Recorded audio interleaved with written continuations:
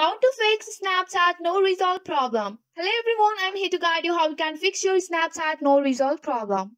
So if you are encountering the no result issue on your Snapchat when you are unable to find your friends. So you have to first of all launch your Snapchat here. Once you have launched your Snapchat, you have to navigate to your search bar. You have to navigate to your search bar or magnifying glasses here. Once you are here, you have to search for the something that you want here. After searching for something, there is no result option. So a weak or unstable connection can also cause the issues with searching and loading content.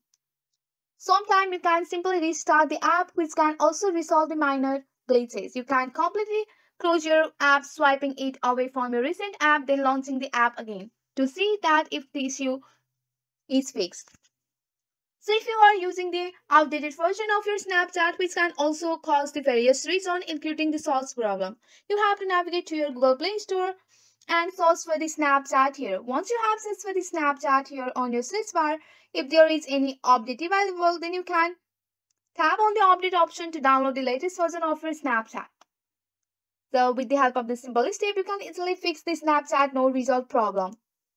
That's it for today. If you like this video, please hit that like button and subscribe for more. I will see you in the next one. Thank you.